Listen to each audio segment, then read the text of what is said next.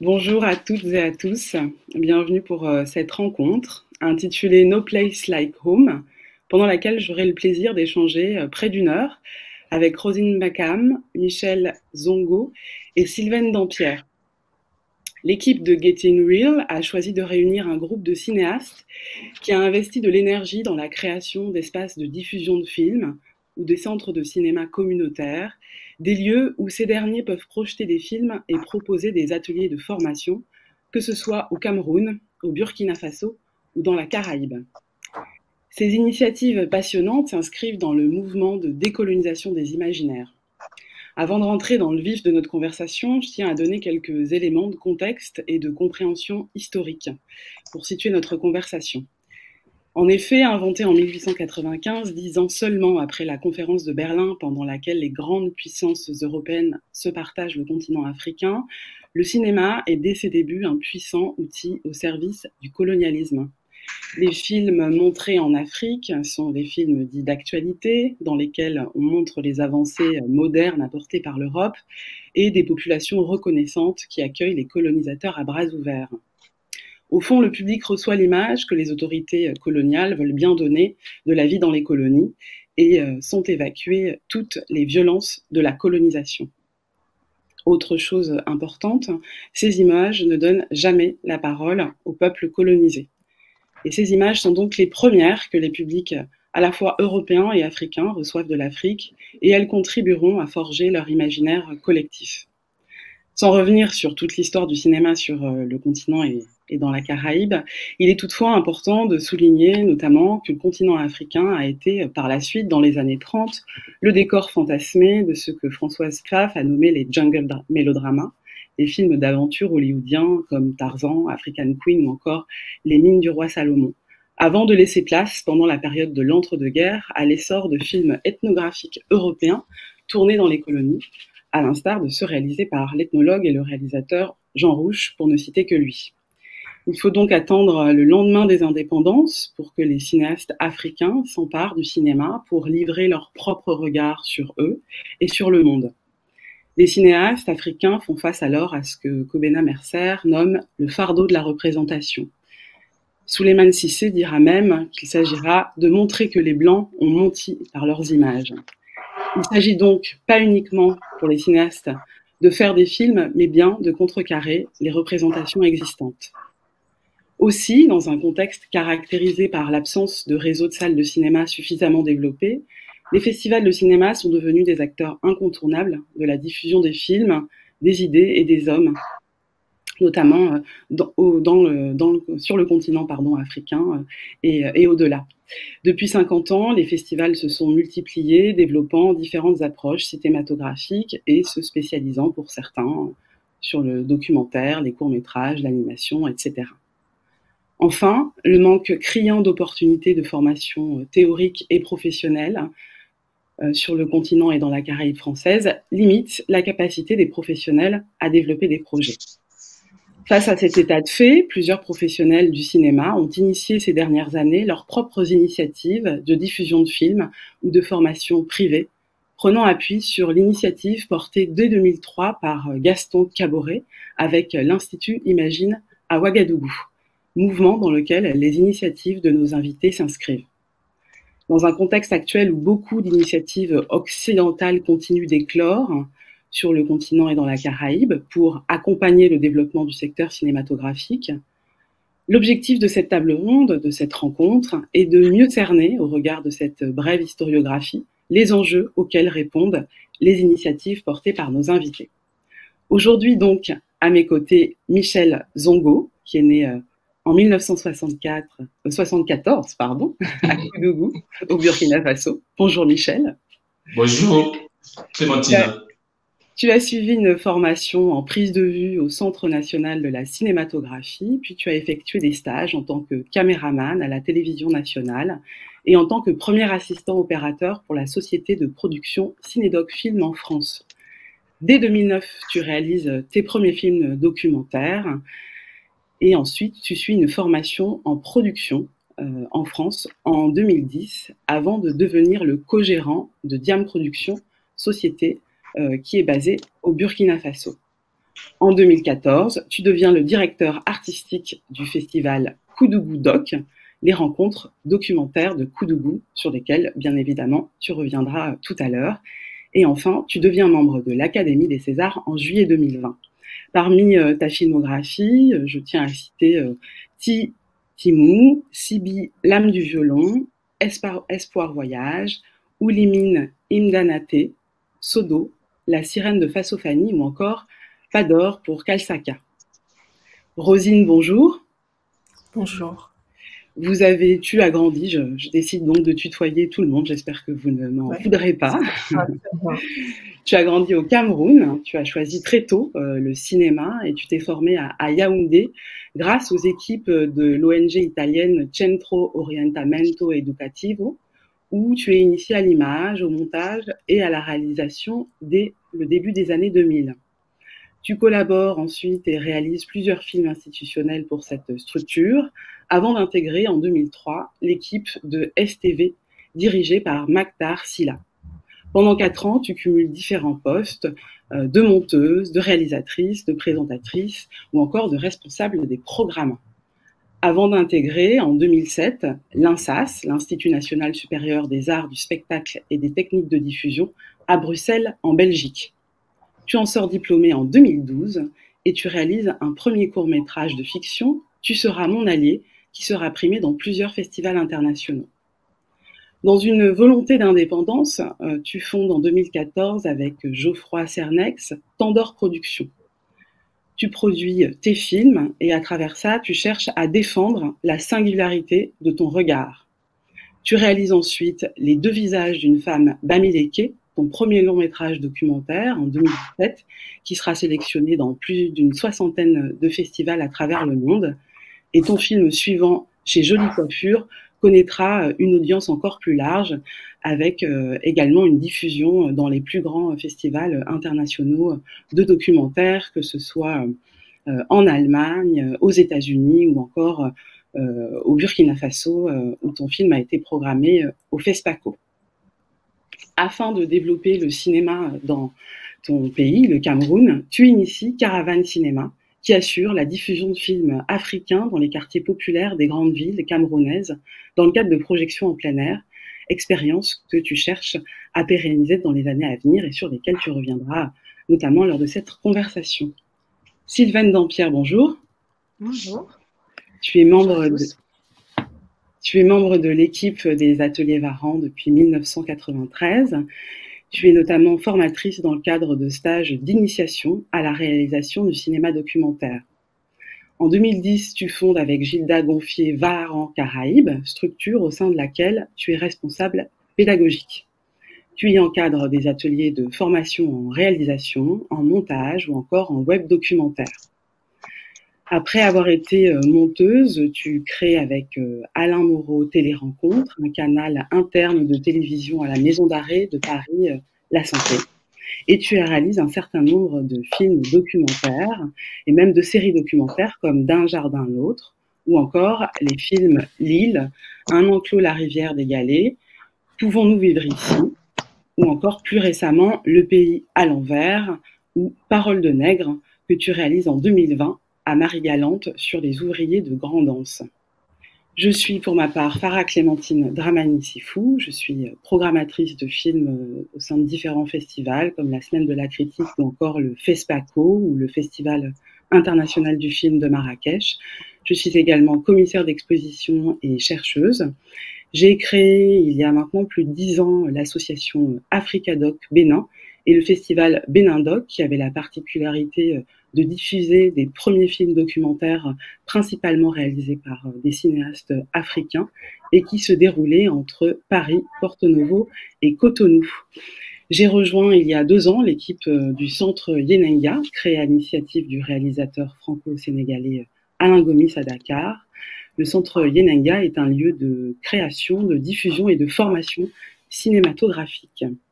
Après cette longue introduction et ces présentations, on va enfin pouvoir euh, discuter et je me tourne vers vous tous pour vous poser une première question. Pouvez-vous, s'il vous plaît, revenir euh, de façon plus détaillée sur les initiatives que vous portez, euh, chacun, au Burkina Faso, au Cameroun et dans la Caraïbe? Quelle a été au fond l'origine de vos projets? Sylvaine, est-ce que tu veux bien commencer? Oui, je peux essayer. Euh, Écoute, bien comme, tu le disais, donc euh, cette structure Varan Caraïbes, je crois que je l'ai rêvé euh, en même temps que j'ai commencé à rêver à mon premier long métrage documentaire réalisé en Guadeloupe. Et donc c'est le fruit d'une rencontre et d'une convergence d'envie. Donc avec Gilda Gonfier, qui était à l'époque directrice de la médiathèque euh, du Gosier, qui est une ville de Guadeloupe, et qui m'avait invitée pour la première édition du mois de documentaire en, Guadeloupe. Donc je suis venue en, Guadeloupe montrer mes précédents film dont aucun n'avait été réalisé dans, la Caraïbe. Euh, et donc, j'ai passé des heures à, discuter euh, avec Gilda, à rencontrer aussi le public guadeloupéen, à constater euh, bah, l'intérêt du public pour le, cinéma documentaire, à avoir des discussions passionnantes avec, avec des gens très divers, dans des endroits très divers, parfois des toutes petites audiences, bah, parfois des plus, des plus importantes. Et dans cette espèce d'effervescence autour de, bah, de, la joie de partager euh, ce type de cinéma, euh, on a commencé à, se dire avec Gilda euh, qu'il serait vraiment heureux de pouvoir développer les ateliers Varan en Guadeloupe, c'est-à-dire, bon, les ateliers Varan, donc c'est structure dont moi je faisais partie depuis un moment, c'est-à-dire concrètement à, partager la pratique du documentaire avec, avec, des, avec des stagiaires, à proposer donc à, à toutes sortes de gens de se former par la pratique au cinéma documentaire et à contribuer à l'émergence d'un documentaire guadeloupéen, avec la conviction évidemment, enfin guadeloupéen et antillais au-delà, euh, la conviction que, que, des, voilà, que des milliers de récits restaient, euh, restaient à, à, à faire et qu'il euh, il était important de, de, donner la parole aux gens euh, sur leur propre réalité et surtout d'offrir au public euh, une image de leur propre société qui était à l'époque extrêmement euh, absente évidemment des écrans, de faire exister quelque part la réalité caribéenne sur euh, voilà sur la scène euh, sur la scène des imaginaires euh, du monde. donc fort de cette de cet élan, on a on a commencé à à mettre en place assez, euh, j'allais dire, assez lentement et péniblement ces structures de Varan Caraïbes. Et il se trouve que l'année suivante, euh, Gilda a réussi, euh, pour, l'édition du mois documentaire suivant, à inviter Jean Rouche euh, à venir euh, voilà, participer euh, au mois du doc. Euh, c'était l'année, je crois, l'année de son décès, donc un de ses derniers voyages. Trouve que Jean Rouche, la dernière épouse de Jean Rouche est guadeloupéenne. moi, j'avais jamais rencontré personnellement Jean Rouge, je l'avais évidemment vu dans les projections, etc. Et je trouve que l'année suivante, donc avec aussi un, un, jeune réalisateur colombien qui avait été formé par, par les ateliers Varan en Colombie.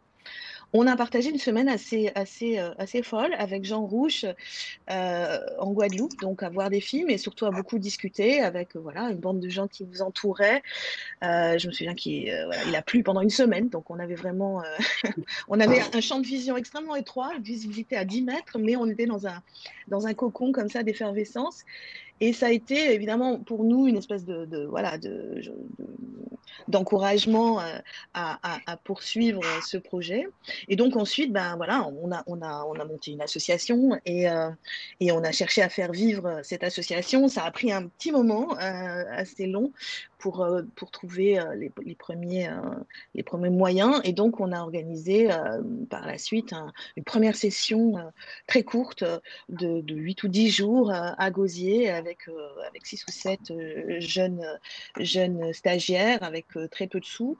Et, ensuite, voilà, la, la l'association s'est un petit peu développée. Enfin, je dis, enfin, c'est même pas mal développé puisqu'on a organisé une petite vingtaine de, formats de, projection, de, de, de formation depuis lors, qui ont donc donné lieu à la production d'une soixantaine de films qui sont tous euh, visibles sur le site de Varan Caraïbes, donc sur qui, est du coup une, plateforme.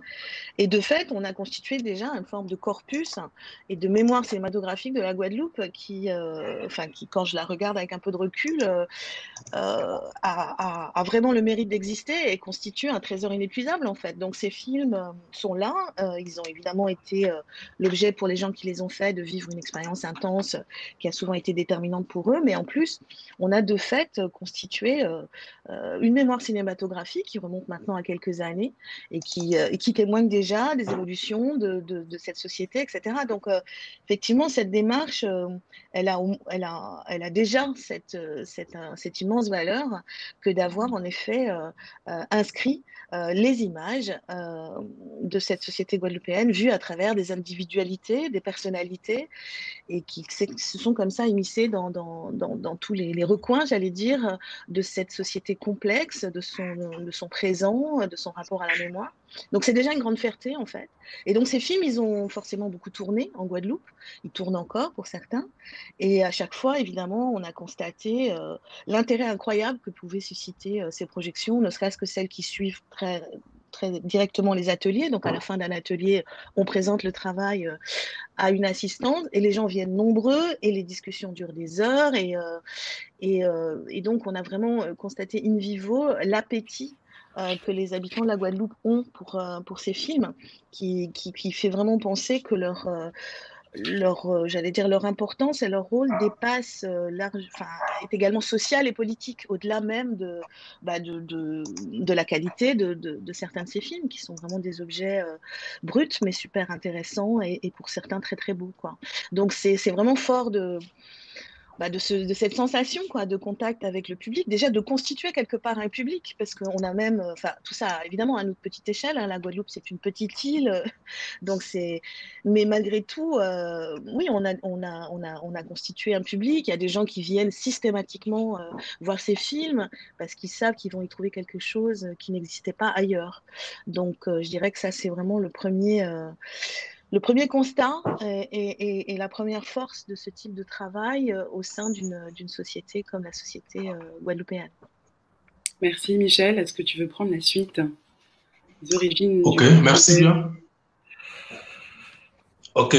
Euh, donc, je pourrais parler de Coup de qui est une association justement composée de, de cinéastes, d'hommes de culture, voilà, des amoureux du cinéma en gros qui est à l'initiative, euh, euh, vraiment l'objectif c'était de, je peux dire entre guillemets, de régler le déséquilibre karma qui existe euh, au Burkina, même si on pense que c'est le pays du cinéma, c'est vrai, avec le FESPACO, ben, tout se passe à Ouagadougou, donc on peut se retrouver à 5 km, 200 km pendant des années à ne pas voir un film, puisqu'il n'y a plus de salles dans ces endroits-là. Alors, donc, comment est né ce festival qui est vraiment le, je peux dire, voilà une des activités phares euh, qui se passe à 5 km de, Ouagadougou, donc la ville de Koudougou, qui est ma ville natale aussi. Et d'où est parti aussi mes films. La plupart, mes premiers films, je les ai réalisés à Koudougou. Et j'avais réalisé Civil âme du violon. J'ai réalisé Espoir Voyage, euh, qui était voilà, le premier long métrage. Et je repartais pour réaliser La sirène de Fasofani. Et le hic que tous ces films-là ont été vus euh, partout, je veux vraiment dire partout euh, au monde, sélectionnés dans les grands festivals, partout, passés à TV5, sauf que à Koudou, les gens ne les ont pas vus. Et je revenais encore avec une équipe à Koudou pour réaliser la scène de Faso Fadi, le troisième film. Et les gens me revoient, ils coupent, les gens me demandent, mais attends, tu veux faire un film encore? Je dis oui. Et les autres films sont. Et cette question a été euh, fortement euh, blessante parce que je me demandais pour qui je fais le film en fait à la fin. Donc euh, ça a été une question très troublante et une question aussi qui ramenait euh, vraiment l'idée à qui on fait le film. il fallait, il fallait répondre forcément à cette question-là. Donc, sur place, avec des copains, avec l'équipe, on s'est dit, bon, on a quand même quelques films, ces trois films dont les gens réclament, on les a. On va essayer de prendre des films de copains qu'on connaît très bien, sur lesquels on a travaillé, et projeter pendant deux, trois jours à la place publique du quartier, et avant de commencer notre tournage. Donc, euh, on fait cette projection, on fait quelques affiches, on colle vraiment dans le quartier, on invite les gens. Et le soir venu, euh, c'était du monde et les gens ont franchement aimé les films. Il y a eu vraiment des débats improvisés autour de ces films les gens se reconnaissaient aussi à travers ce film. Et voilà, donc on s'est dit, mais pourquoi pas l'année prochaine encore, on reviendra euh, faire aux mêmes dates, quoi, parce que c'est né, né, de façon naturelle Il n'y y a même pas un projet écrit, il n'y a pas quelque chose qu'on s'est réfléchi. Non, c'est né de façon spontanée, c'est né avec euh, la volonté aussi, je veux dire, euh, du public, de coup de goût. Et on a, on a essayé de, de, refaire la deuxième année. La troisième année, on a créé une association pour encadrer euh, cet événement, pour pouvoir aussi on s'est rendu compte que bon, ça peut nécessiter quand même des, des, des, des, dépenses, ça peut nécessiter des fonds. Donc, on s'est dit, bon, pourquoi ne pas s'organiser de façon officielle et aussi avoir les autorisations qu'il faut pour faire une manifestation qui s'inscrit dans la ligne euh, droite de notre objectif aussi, de faire des films et de faire voir. Alors, ce, festival a été créé en 2015 officiellement à travers l'association et euh, depuis, on essaie chaque année, aux mêmes dates, euh, la dernière semaine du mois d'avril, dernier mardi, dernier samedi, cinq jours, de montrer des films à la même place et avec euh, une sélection beaucoup plus large. Alors, les premières années, ça a été quand même compliqué parce que le hic, s'est retrouvé à se dire, euh, oui, les films qui sont faits dans la région, dans la zone qu'ils connaissent, qui parlent leur langue, il n'y a pas de problème. Mais si on veut continuer à montrer des films à un public euh, hétérogène, c'est vraiment un public tout, quoi, parce que nous, c'est en plein air, on dépose l'écran et le soir venu, les gens qui passent, euh, voilà, les, les, jeunes du quartier, les plus âgés, les mamans, les enfants, tout le monde s'assied, des gens qui parlent français, des gens qui savent lire, des gens qui savent pas lire. Donc, il fallait trouver maintenant comment montrer des films dans ce contexte-là qui puissent euh, intéresser et en plus, en plus du documentaire, il faut le reconnaître que c'est quand même assez dur parce que euh, pour quand même spécifier le Burkina, qui est un pays de cinéma, par ces grands noms qu'on entend, mais quand même, ils n'ont pas fait de documentaire. On a une culture de fiction.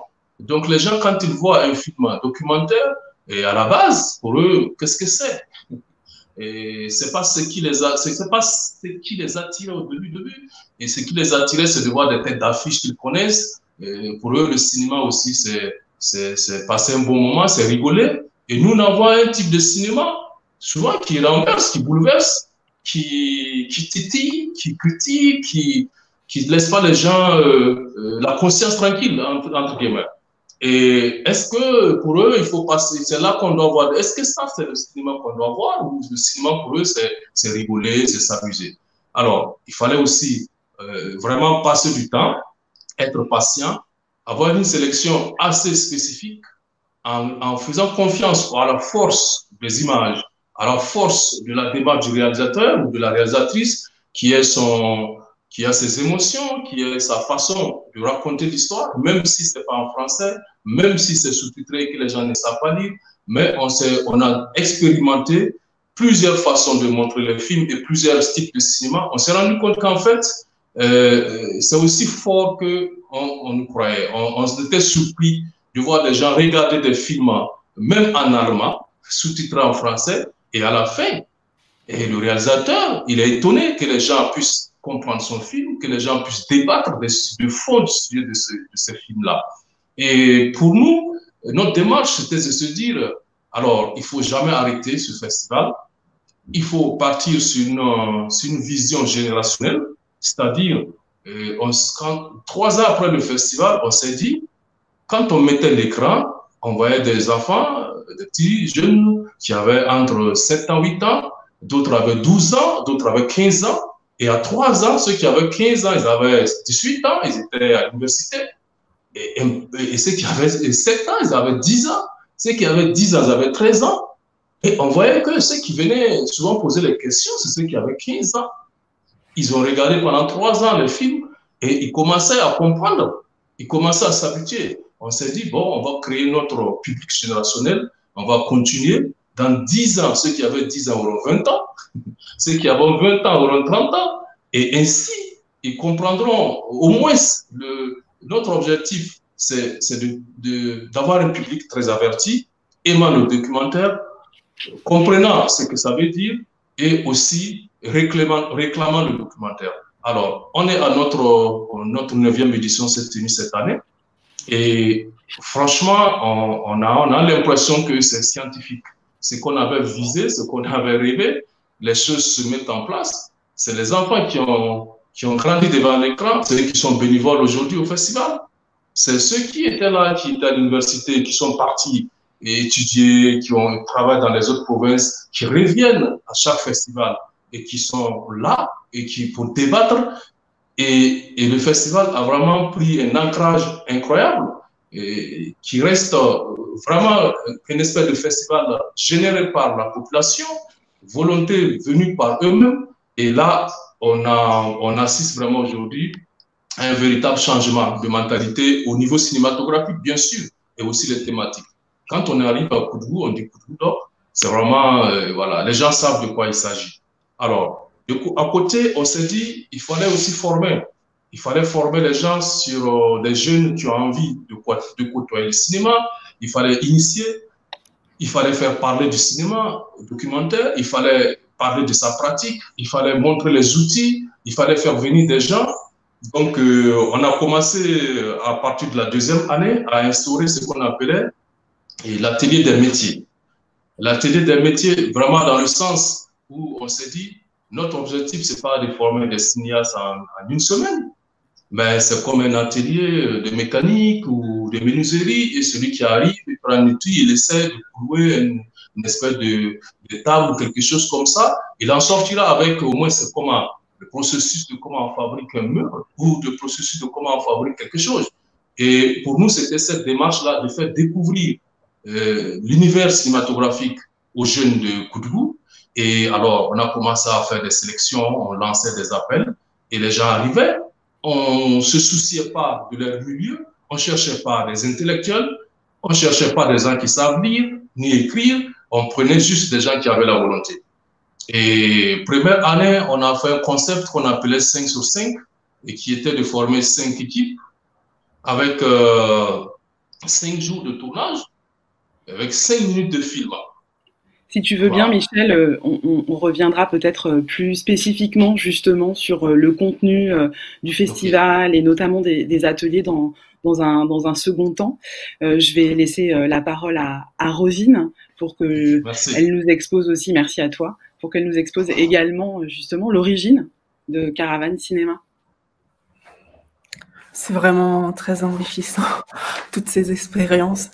Euh, Caravane Cinéma, c'est vraiment euh, une étape euh, d'un processus, d'un processus de décolonisation qui a commencé dès mon départ du Cameroun pour venir étudier ici en Belgique. J'étudie dans une école très blanche où je suis la seule noire et et où les films euh, qu'on me montre euh, me, présentent euh, sous un aspect que je ne reconnais pas.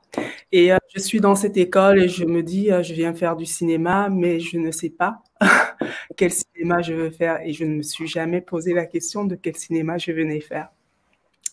Et le déclic se passe face à un film de Raymond Despardon, Afrique, comment ça va avec la douleur, et la manière dont il filmait certaines personnes m'ont mis face à une réalité, à ma réalité de coloniser, qui, euh, qui euh, pendant, euh, pendant près de 20 ans, j'ai vu et vu des, des, films qui me représentaient, qui représentaient ma culture sous des formes que je n'avais jamais questionnées, même si je ne me reconnaissais pas sur ces formes-là, je, je, ne les avais jamais questionnées. Et j'étais dans cette école-là à, à, à continuer à regarder ces films et je me suis dit, mais quel cinéma je veux faire?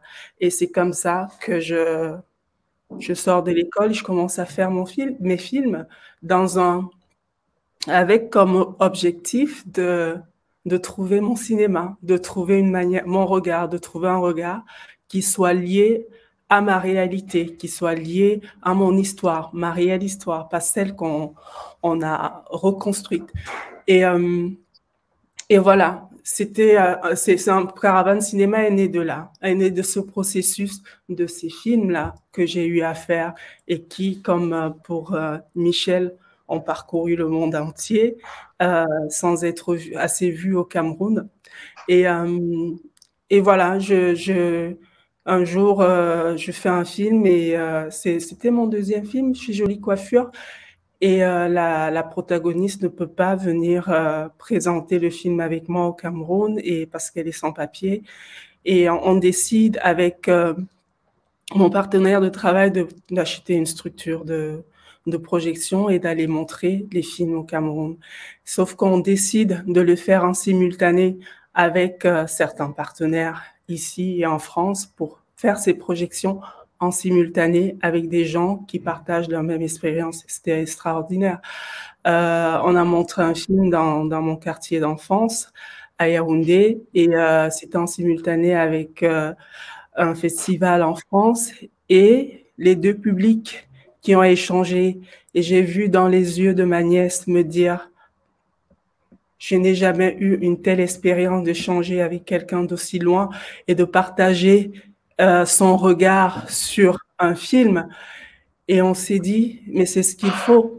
En tout cas, moi, je fais un cinéma de confrontation qui confronte les regards. Moi également, je suis ici en Belgique euh, dans une société où euh, je dois tout le temps confronter mon regard, ma culture avec l'autre. Et, et pour moi, la liberté de notre pensée ne vient que dans cette confrontation, dans la confrontation de nos différentes cultures. Et c'est l'initiative, c'est vraiment le cœur de Caravane Cinéma qui est euh, de voir par des projections, de confronter par les différents regards d'ailleurs, du Cameroun, d'autres pays, d'expérimenter et de filmer. Et après, euh, dans cette confrontation, euh, euh, pour moi, ce n'est que dans cette confrontation qu'il y aura une forme de libération de la pensée, parce que on le sait tous qu'en Afrique, la pensée n'est pas totalement libre, puisque le néocolonialisme continue et le néocolonialisme au travers de l'image continue, parce que 70% des programmes qui sont vus au Cameroun, je ne sais pas dans d'autres pays, sont européens. Donc, qu'est-ce qu'on voit? Qu'est-ce que ces jeunes voient? Ils voient euh, une réalité qui n'est pas la leur. Ils se représentent dans une réalité qui ne correspond pas à, leur, histoire.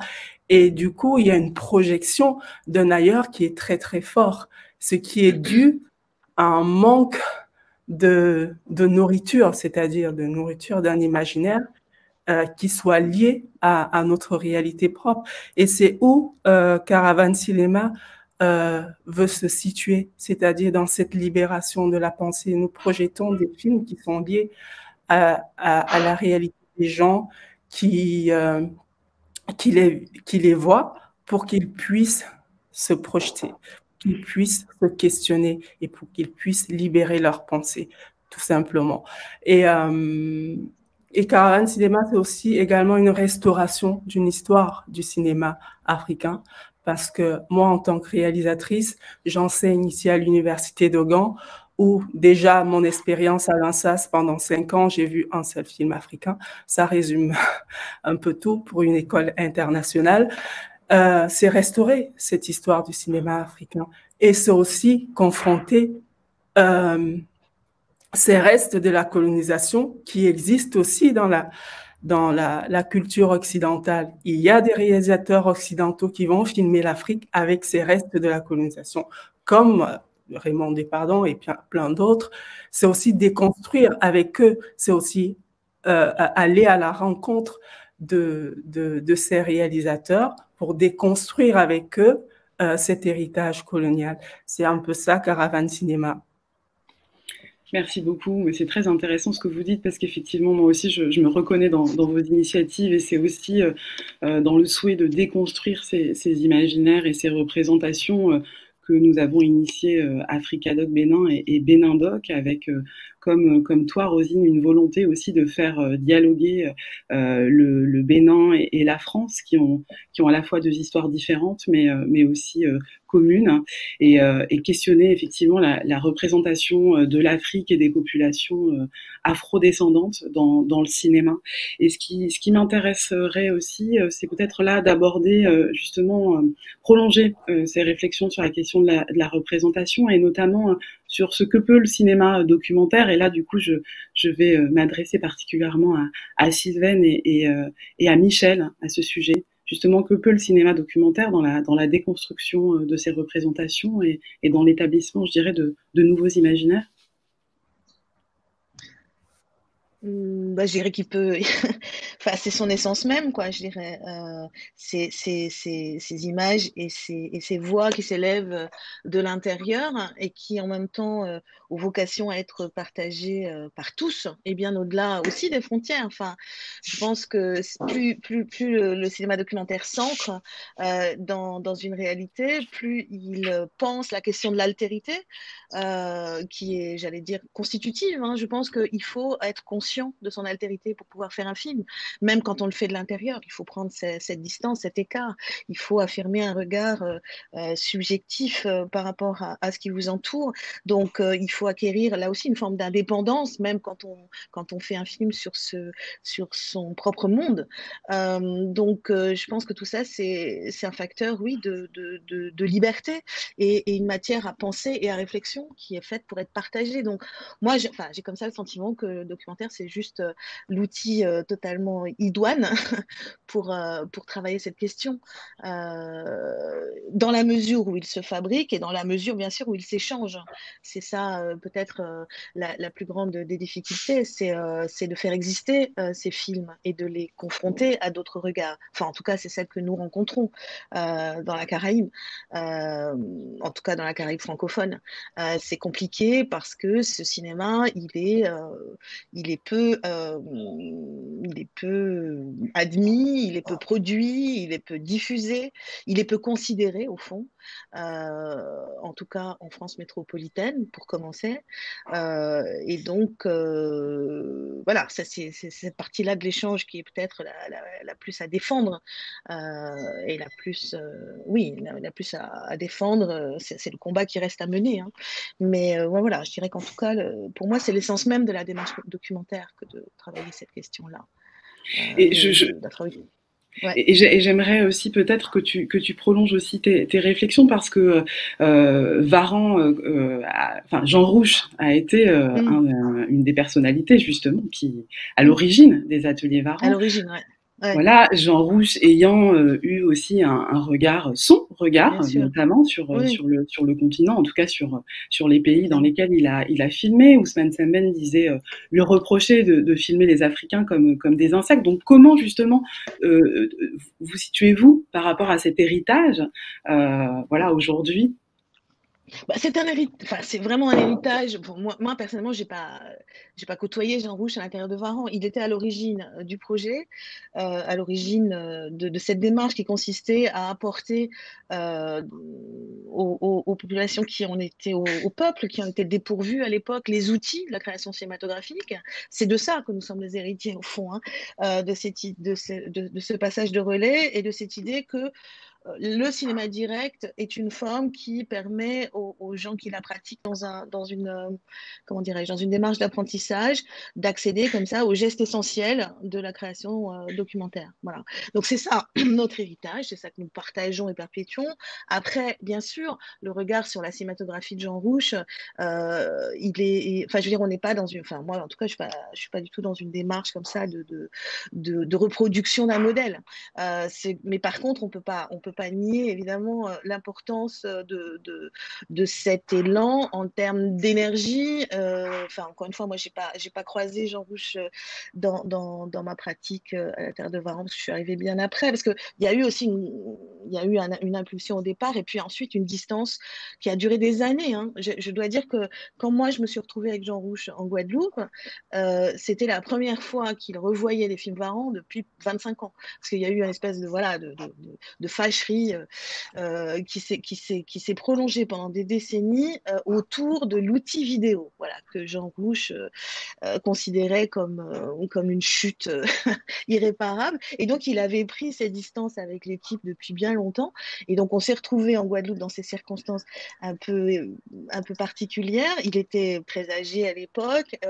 et c'est vrai que j'ai eu le bonheur de le voir quelque part redécouvrir les films de, jeunes réalisateurs et se dire, mais en fait, oui, euh, c'est vraiment ce, que, dont j'avais rêvé il y a il y a 40 ans, quoi. Retrouver cet enthousiasme et, et cet élan. Donc, j'allais dire que moi, mon héritage, c'est ça. Après, les films de Jean Rouge, ben, bien sûr, on les montre, et euh, enfin, pas systématiquement, mais en tout cas, quand on a l'occasion de les, montrer, c'est aussi pour, euh, pour exercer un, regard critique dessus. Hein. Évidemment, c'est pas anodin que de montrer euh, Moi et Noir à, des, jeunes, par exemple, à des jeunes réalisateurs guadeloupéens.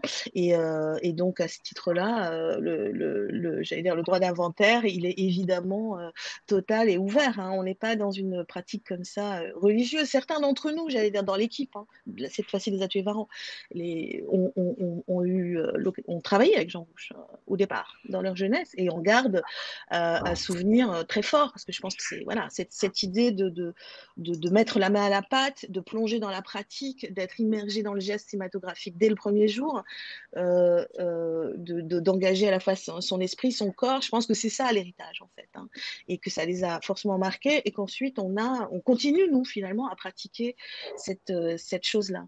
Donc, euh, donc voilà, c'est plus euh, sur, encore une fois, ce qui fonde, j'allais dire, le geste pédagogique mmh avant qu'on se sent héritier de, Jean Rouge, ça c'est clair. mais c'est énorme. Après, encore une fois, nous, on utilise le cinéma direct comme une forme je crois, très efficace pédagogiquement, encore une fois, parce qu'elle elle met les gens et leur propre corps en situation d'exercer avec leurs pieds, leurs mains et leurs yeux euh, un, point de vue sur le monde. Et, ça, c'est fondamental. Mais c'est pas forcément le, cinéma qu'on préconise ou qu'on défend. D'abord, c'est pas forcément le cinéma qu'on fait les uns les autres, et c'est pas forcément celui euh, que, que, que, les, que, nous, que les gens qui sont passés par, euh, par, par chez nous vont continuer à faire. Mais par contre, c'est une forme extrêmement efficace parce qu'elle elle base elle est basée sur une expérience fondamentale. Quoi. Donc la construction d'un regard, la construction d'un personnage, le rapport qu'on peut avoir à celui qu'on filme, il passe très très bien à travers ce geste. Donc voilà, c'est vraiment des choses comme ça, très pratiques, très vitales du cinéma dont on se sent les, les, héritiers euh, ou les, ou les perpétuateurs. Euh, et, euh, et c'est ça qui nous lie à l'expérience initiale de, de Jean Rouche, encore une fois. Voilà tu, fais, tu commences à, effectivement, c'est super, à faire la transition avec, avec la question suivante où, j'allais vous demander justement comment concrètement se mettent en place vos, vos, projets. Donc, pour ce qui concerne les structures de, de formation, c'est voilà, quel type de formation sont proposées, quel, quel type de pédagogie. Donc, tu parlais euh, justement de la pédagogie du, du faire. Est-ce que tu peux revenir justement sur, euh, voilà, sur vraiment sur le contenu des formations euh, que, que tu proposes, que vous proposez à Varan oui, bah, La formation initiale vraiment voilà, à la base de, notre de, de l'activité pédagogique, ce sont des, ateliers qui, peuvent durer trois mois et au cours desquels, euh, donc, où, sont accueillis comme le disait euh, Michel, euh, tous les gens euh, possibles, sans, particulièrement de bagages ou de prérequis techniques, etc., etc., sur la base de leur désir de cinéma, qu'on essaye de cerner avec eux au, mieux qu'on peut pour être sûr que voilà, qu'on va pas les engager dans, une fausse piste, parce qu'encore une fois, le documentaire c'est très particulier. Il faut vraiment être animé d'un vrai désir de ce cinéma-là et pas faire du documentaire faute de mieux ou parce qu'on veut faire en fait de la fiction mais qu'on a trouvé que ça, etc. Bon, donc donc voilà, à partir de là, c'est très simple. Il n'y a pas de, limite euh, d'âge, euh, euh, par exemple, hein, ou de, encore une fois de, connaissances techniques préalables, etc. Et, ce qu'on propose aux gens qui, viennent vivre cette expérience très intense et intensive, ben, c'est de faire, de fabriquer euh, leur propre film en étant derrière la caméra et de participer euh, à, la fabrication du film des autres participants en étant au son. Donc, euh, ce qui démultiplie l'expérience et voilà, ce qui la rend. donc, on est, quand on fait quand on vit cette expérience, on est partie prenante de 10 ou 12 films qui se fabriquent en même temps. Et j'allais dire, l'outil l'outil essentiel. Donc, ce sont des, des, projets qui naissent au sein de, de ces ateliers. Hein. C'est rare que les gens arrivent avec, euh, qui, puissent réaliser des projets dont auxquels ils ont pensé depuis longtemps à l'intérieur de, de, cette contrainte de temps, etc. Donc, il y a, euh, les apprentissages techniques euh, sont assez sommaires et se font vraiment sur le tas. Donc, on, et notre, notre outil comme ça pour avancer, c'est la projection euh, des rushs. C'est-à-dire à chaque fois que les gens vont tourner, il y a un retour qui se fait avec les, formateurs et, les autres membres du groupe. Et au fond, l'exercice consiste à regarder ensemble et à, petit à petit accorder nos regards. Alors d'abord, bien sûr, dans, dans la critique hein, de la part des, formateurs, et puis on, voilà, on y retourne. Et puis jusqu'à ce que, quelque part, dans, dans, le noir, comme ça, face à l'écran, quelque chose s'accorde, qui, qui, se passe de commentaires et qui est juste ce moment où, tout le monde peut reconnaître un moment de cinéma, quoi, finalement. Et donc, euh, bah, les films sont faits un peu de cette addition d'expérience, de, se construisent euh, dans ce processus, et puis ensuite, bah, ils, sont, euh, ils sont assemblés lors du montage avec la volonté de, de, j'allais dire, d'extraire la substantifique moelle de cette expérience. Les films sont faits de ces différentes séquences qui sont pas toutes également maîtrisées, mais qui sont aussi la marque d'un processus de rencontre, d'histoire qui se construit. Bon, euh, et, donc ça donne des films qui sont évidemment pas euh, parfaits euh, techniquement ou au niveau de la construction, mais qui sont souvent comme ça précieux parce qu'ils ont la marque de, de, cette, de cette découverte, de cet élan, de ce moment de vie partagé entre les réalisateurs et leurs personnages. Donc, donc voilà, en gros, alors bien sûr, on, on, voit aussi des films, on fait aussi des exercices, mais enfin, c'est encore une fois dans cette aller-retour entre le terrain où sont lâchés euh, les participants et puis euh, la salle obscure euh, où, converge le regard des formateurs que se, que se passe l'apprentissage. Et donc on essaye, nous, en tant que formateur, on est tous praticiens de, du cinéma euh, et donc euh, on essaye ben, de, partager au mieux euh, non seulement notre expérience, mais j'allais dire de mettre aussi, d'engager notre sensibilité, enfin de, faire les choses avec le plus de sincérité possible et d'être en prise directe avec ces, avec gestes balbutiants puis de plus en plus affirmés de cinéma. Et qui sont les formateurs euh, Quelle est la place aussi peut-être des formateurs euh, de la Caraïbe dans des formations que, que vous menez maintenant depuis Alors, euh, je suis dans l'équipe hein, qui est quand même assez importante et qui comprend des gens bah, voilà, de, de, de, France et d'ailleurs. Mais bon, je suis la seule caribéenne de l'équipe. Mais quand je travaille en Guadeloupe, donc j'invite mes, certains de mes camarades à venir travailler euh, avec moi. Je parle des camarades de l'équipe de Varan.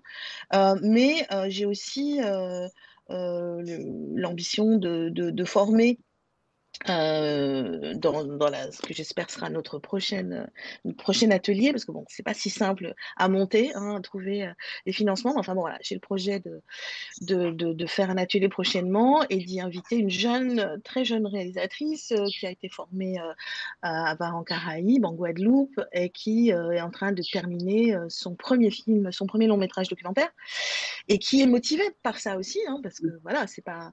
Et donc, j'espère vraiment pouvoir euh, former euh, cette jeune femme euh, à partager avec moi ou d'autres d'ailleurs au sein du voilà parce qu'on est toujours deux formateurs donc à, voilà à traverser cette expérience parce que c'est parce qu'elle en a vraiment envie et je pense vraiment la capacité enfin la capacité humaine hein, je veux dire parce que bon encore une fois c'est pas c'est pas facile et il faut vraiment être motivé quoi. C'est aussi quelque chose que moi par exemple je fais pas tout le temps. J'ai besoin de voilà de prendre du recul de me ressourcer c'est pas c'est pas un boulot comme un autre, quoi. C'est vraiment une expérience, euh, voilà, qu'il faut traverser quand on a, quand on est vraiment disponible et qu'on a vraiment l'énergie. Euh, donc, euh, donc voilà, j'essaye. Moi personnellement, j'enchaîne pas du tout parce que je, je, connais mes limites et je sais que si je suis pas, voilà, complètement disponible et, au top de ma, voilà, de, ma forme, c'est pas la peine que j'inflige à mes stagiaires ma mauvaise humeur, etc. Oh, mais c'est et puis, excuse-moi de, de, te couper, puis en plus, vous êtes euh, aussi euh, tous les trois euh, cinéastes, et du coup, je me retourne vers, vers Michel. Est-ce que justement, toi aussi, tu peux nous dire comment tu articules à la fois ton métier de, de cinéaste et ton métier de, de, directeur artistique au sein de de Doc, et, et revenir peut-être plus concrètement aussi sur cette expérience de, de, festival, qui choisit les films, enfin voilà, comment vous travaillez ensemble, et peut-être nous présenter aussi comme tu as commencé à le faire euh, tout à l'heure, avant que je te coupe de façon extrêmement euh, mal polie, euh, sur justement les éléments qui composent ce festival. Tu parlais notamment des, ateliers, c'est-à-dire que le festival est bien entendu un lieu de, diffusion de films documentaires, mais c'est aussi un, lieu de, création, un lieu de rencontre. merci. Je commence par la dernière pour rebondir sur le contenu du festival. Parce que pour nous, au début, c'était de montrer des films. Mais après, on s'est rendu compte qu'au-delà des films, qu'est-ce qu'il faut, euh, qu'est-ce faut avoir comme activité et au sein de, pendant les cinq jours. Voilà, modestement, bien sûr. Et en, se basant toujours, notre, notre objectif et notre démarche, c'est endogène. C'est se dire qu'est-ce qu'on a sur place, qu'est-ce qu'on fait avec et que, quelles sont les compétences, quels sont les moyens et pour vraiment pouvoir pérenniser, pour pouvoir continuer à faire. Parce qu'on s'est basé sur plusieurs expériences par rapport aussi, on, en parlait tout de suite, la dépendance intellectuelle et la dépendance artistique et la dépendance financière justement des Africains. Et à un moment donné, ces initiatives nobles qui se sont construites sur la dépendance financière et souvent s'écroulent. Pour nous, euh, on n'en refuse pas, pas du tout, on est un preneur, mais il faut déjà commencer à voir au niveau local qu'est-ce qu'on peut faire avec ce qu'on a ou ce qu'on n'a même pas.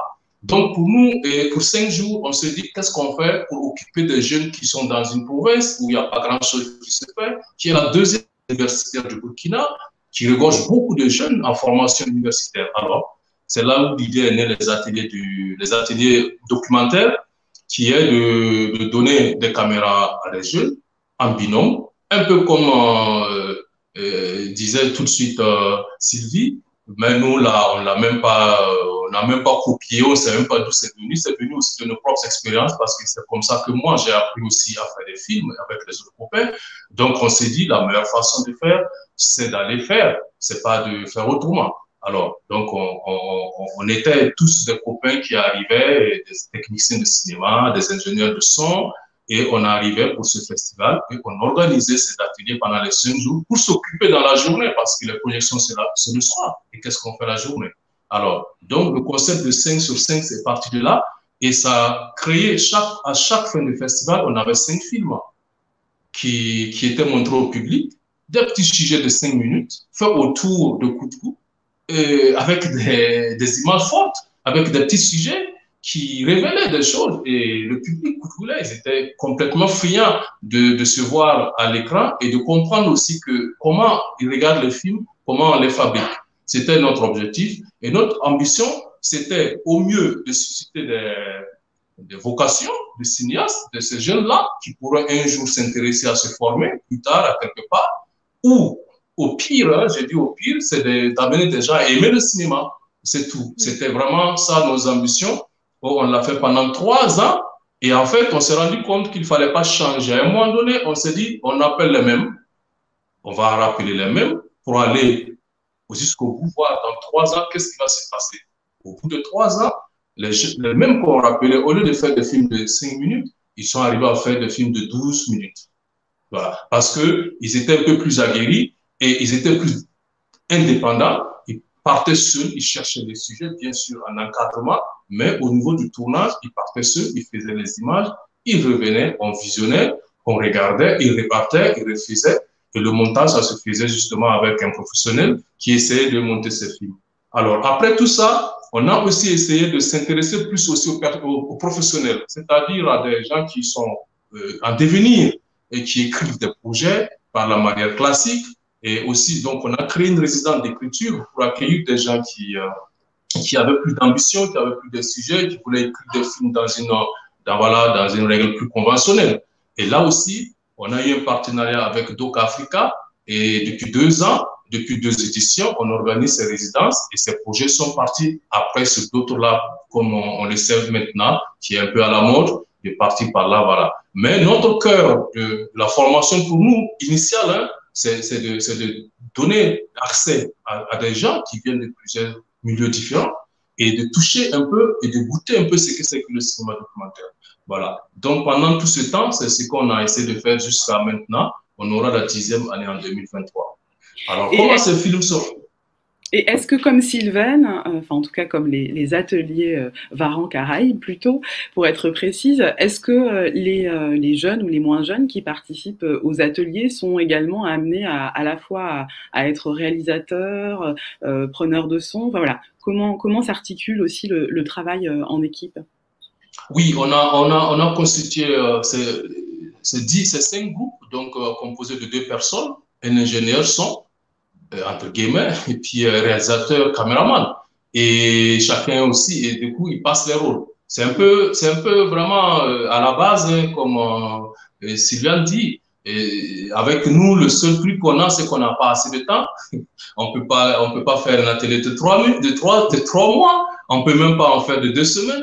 Donc, c'est une espèce de challenge, une espèce de jeter des gens à l'eau en, les bousculant, en les troublant. Hein.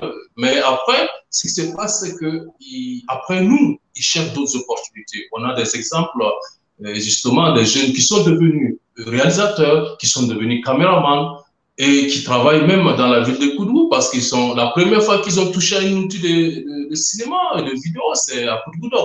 Et pour nous, euh, peu importe l'itinéraire après, qu'ils fassent des documentaires ou pas, mais encore, en tout cas, pour nous, ils restent dans un, dans une dynamique de, de faiseur d'images, voilà, euh, avec une conscience que, bien sûr, la question avant, comment on filme, comment, pourquoi on filme, et ça, c'est une question centrale pour nous dans, dans nos ateliers et, avec l'idée que euh, on est responsable de ce qu'on va montrer, des images d'Afrique qu'on va montrer. C'est vraiment le cœur de notre démarche. C'est pourquoi nous filmer.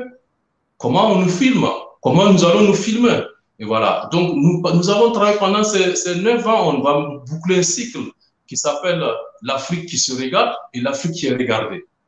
Et pour résumer aussi euh, ce que Rosine disait, les gens, ou entre guillemets, les cinéastes occidentaux qui ont filmé l'Afrique et qui continuent de filmer d'ailleurs, nous, on montre ces films. On les sélectionne, on montre et on montre nos films. Donc, il y a cette confrontation du regard, comment on nous regarde et comment nous nous regardons. Alors, ça, on va boucler ce cycle de 10 ans et de travailler sur notre concept. Mais l'idée, c'était déjà et de, de, de, choquer un peu les gens par rapport au regard que les Occidentaux se font de nous, que beaucoup d'Africains aussi n'ont pas forcément accès de voir ces films-là, puisque souvent ces films sont faits en Afrique, ils sont représentés dans des festivals, dans des télés en Europe. Il ne fait que nourrir des imaginaires de ces Européens-là, mais comment nous, les Africains, nous voyons même nos images qu'on nous a filmées? Alors, nous essayons de ramener ces films. Ce sont souvent choquants, mais avec euh, la volonté de casser de casser justement ce point-là et de montrer comment justement les réalisateurs africains se filment eux-mêmes. Voilà. Donc euh, ça, ça fait partie aussi de notre ligne éditoriale. Michel, tu parlais tout à l'heure aussi euh, euh, de la question de la, de la dépendance. Hein. Vous êtes d'ailleurs tous les trois à avoir évoqué cette question finalement du, financement de vos projets. Alors du coup, justement, comment, comment fait-on pour, euh, pour sortir de cette espèce de cycle de, de, de la dépendance? Qui finance vos projets? Est-ce que du coup aussi le financement des projets a un impact sur le contenu de, de, de, tes projets, toi en l'occurrence, Michel, ou est-ce que tu es totalement libre de pouvoir proposer les activités que tu le tu souhaites D'abord, moi, d'abord, entre guillemets, quand je dis que je n'ai pas de financement, ça va être bizarre, mais c'est effectivement le cas. On n'a vraiment pas un partenaire financier comme, euh, comme je sais pas, l'OIF ou autre chose. Non, on est, le festival, c'est pour ça aussi qu'il est modestement euh, ancré. Peut-être qu'il n'est pas trop connu au niveau international parce qu'il n'a pas de partenaires vraiment internationaux qui font, qui débarquent, tout ce monde débarque à Ouaga, voilà, qui font la fête et qui, à goût. Mais nous, en fait, euh, on tient le festival avec beaucoup de volontariat, beaucoup, beaucoup de volontariat, avec beaucoup d'imagination pour toujours faire les choses avec moins de coûts. On a une base, on a l'association a du matériel de projection, on implique vachement, les, par exemple, l'université, on fait des projections au niveau de, l'université. On a des associations universitaires qui, qui, en fait, on les offre l'activité parce qu'ils ont déjà des activités qu'ils font. Donc, nous, on, on s'insère dans leur chronogramme. Donc, on arrive à, l'intérieur d'une association qui a des, des, activités et nous, on insère notre activité, ce qui devient moins coûteux parce qu'on ne refait pas tout. Ils ont déjà une équipe, ils ont déjà, ils ont leur système de communiquer. Alors, d'abord, c'est l'État burkinabé à travers la direction du cinéma qui nous appuie de temps en temps Alors, DOCA, depuis deux ans, j'ai dit qu'on a un partenariat qui nous appuie au niveau institutionnel, aussi au niveau pour la résidence. DOCA, qui est une association euh, basée euh, au Kenya, hein, c'est ça? Au Kenya, oui, c'est ça, exactement, qui soutient les initiatives vraiment documentaires, initiatives africaines, et qui soutient que, justement, le cinéma documentaire. Je peux dire que, en termes de partenariat, c'est notre premier partenaire officiel avec qui on a, on a deux ans, trois ans de, de collaboration. Alors, les autres, c'est aussi au niveau de l'ambassade Goethe, qui, avec euh, l'Institut Goethe, on a un programme de masterclass. Donc, euh, ça aussi, c'est pas de l'argent, mais c'est des activités qu'on essaie d'avoir. En fait, nos partenariats se situent plus de comment on gagne des activités que des financements. Pour la petite histoire, c'est pas, on peut dire comme ça, mais il y a aucun, il y a personne qui est payé dans ce festival. Moi, en tant que directeur de festival depuis 10 ans, j'ai jamais touché un franc. bon, et tous les autres qui travaillent pour le festival, il n'y a personne qui touche un franc. Parce qu'il n'y en a pas, parce que c'est aussi, nous, on s'est dit, bon, il n'y a pas de l'argent, il n'y a pas de partenaire, mais comment on fait pour qu'il reste? Donc, c'est notre, notre temps qui va constituer notre matière première, qui va constituer notre financement. Alors, on a bien d'autres activités en dehors de ce festival parce que vous m'avez demandé, je suis cinéaste, donc je dois aussi travailler pour la boîte de production, bien sûr, là d'où vient quand même euh, l'argent pour, pour s'occuper de ma famille. Donc, euh, et aussi tout le reste de l'équipe, c'est un peu pareil.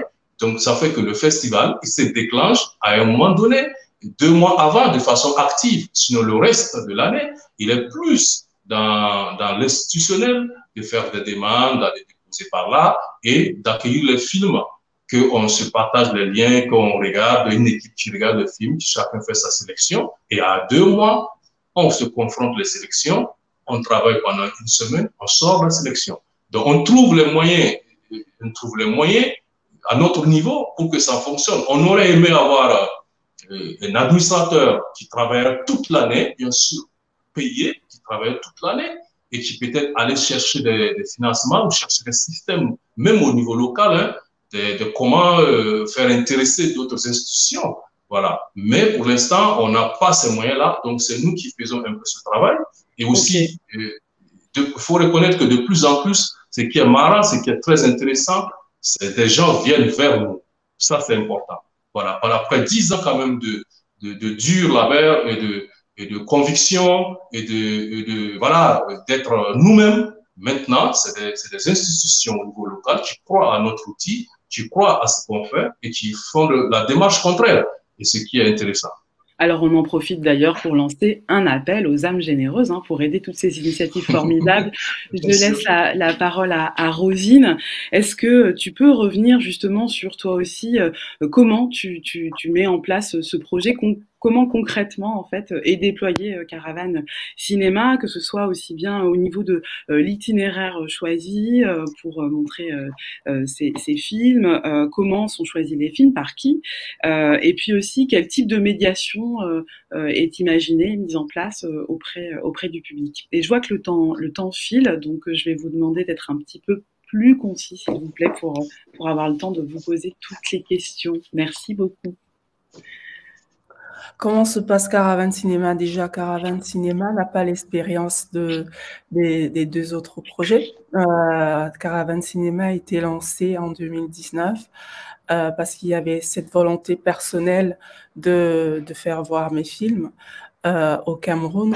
Donc, euh, cette première édition a été euh, organisée sobrement avec mes films. Et, mais le but de Caravane Cinéma, c'est de sélectionner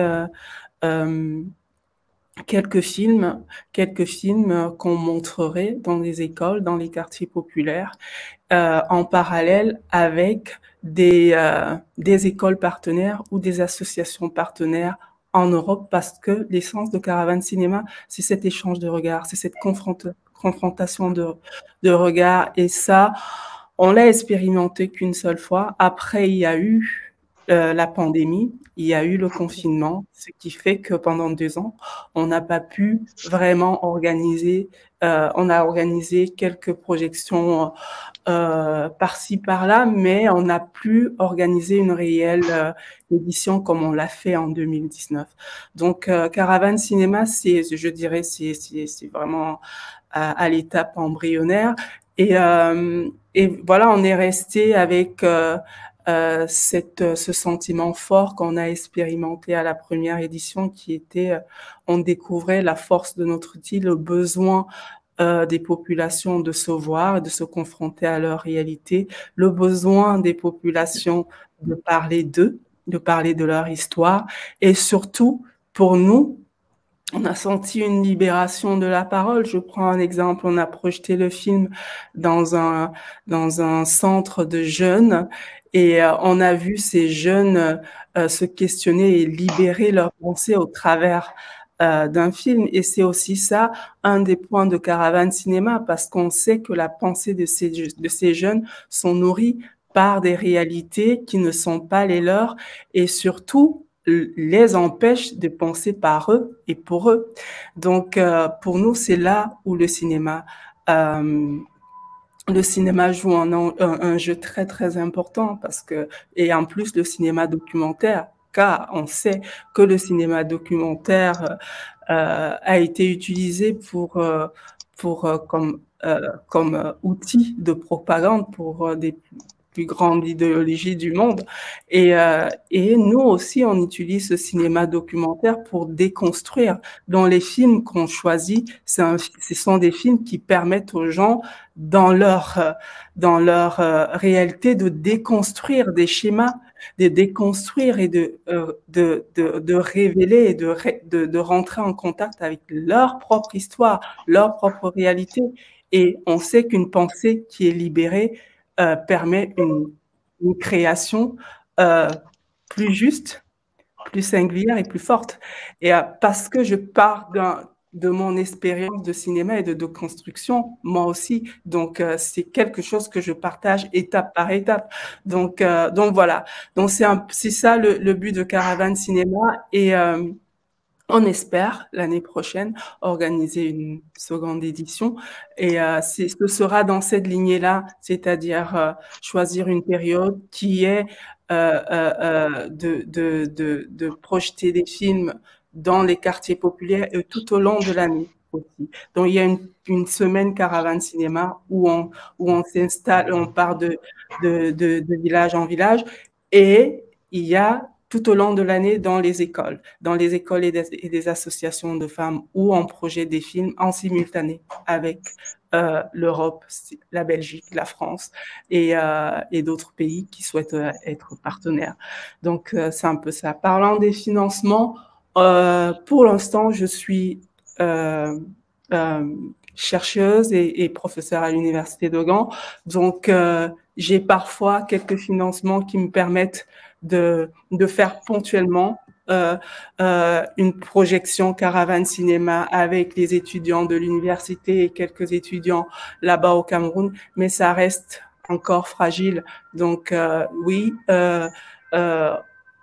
on aimerait être soutenu, mais, euh, mais pour l'instant, ça se construit. Ça se construit tout doucement avec les moyens qu'on a. Quand on peut, on le fait.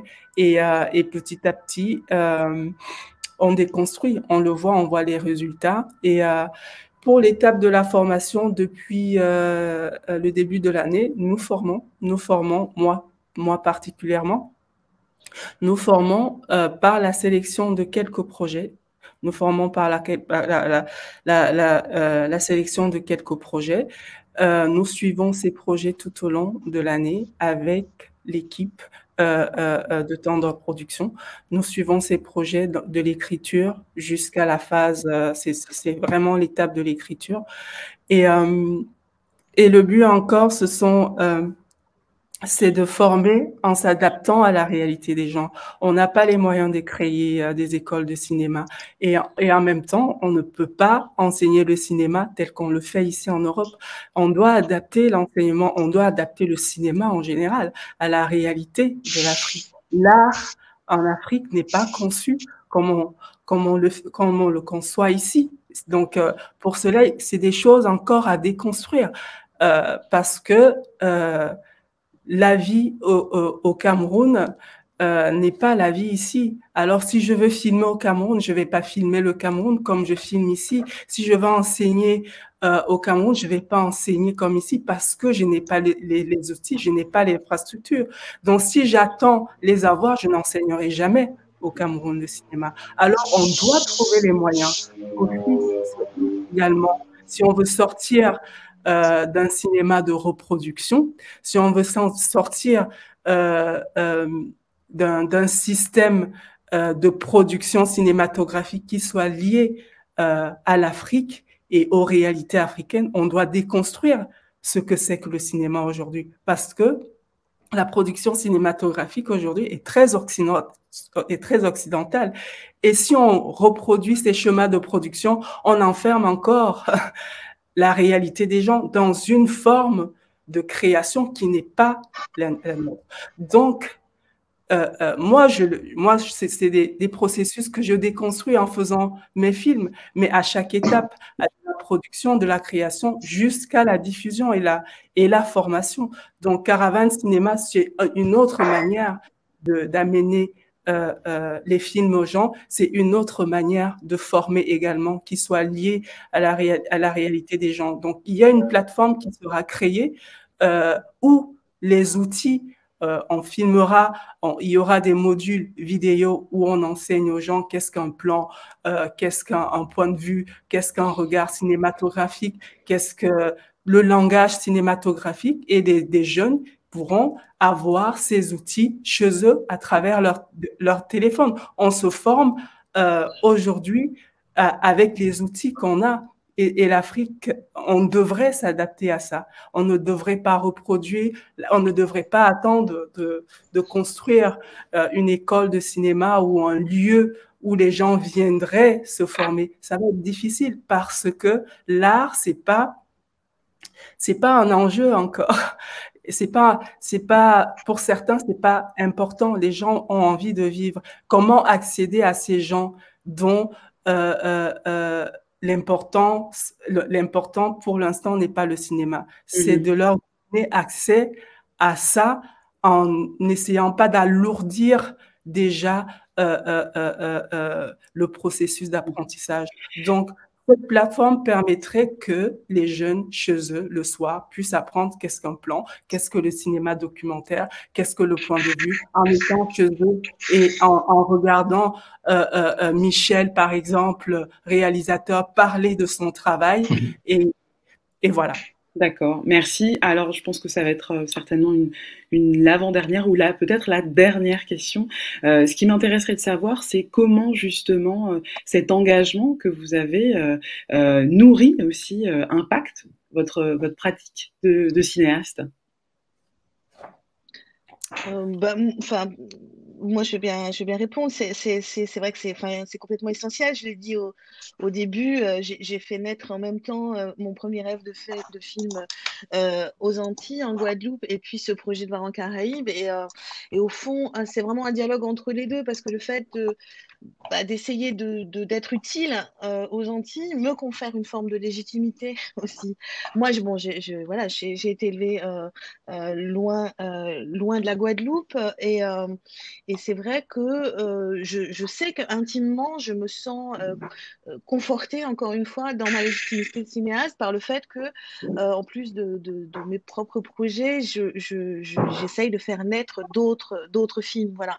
Et que quelque part, j'initie un mouvement dans lequel je m'inscris moi-même. Enfin, c'est bon, c'est entre moi et moi, mais malgré tout, c'est extrêmement important.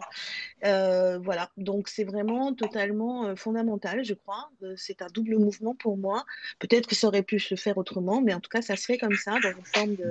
Alors, les deux sont aussi compliqués, hein, et difficiles, et longs, et, laborieux. Euh, c'est extrêmement compliqué de, produire un film tourné aux Antilles, et c'est extrêmement co compliqué de faire vivre une activité comme celle-là euh, en Guadeloupe pour, euh, pour à peu près les mêmes raisons. Mais du coup, voilà, c'est beaucoup d'énergie. Alors, c'est vrai qu'il faut, il faut établir des priorités, mais pour moi, ça va ensemble, vraiment, c'est clair. Je ne peux pas dire le contraire.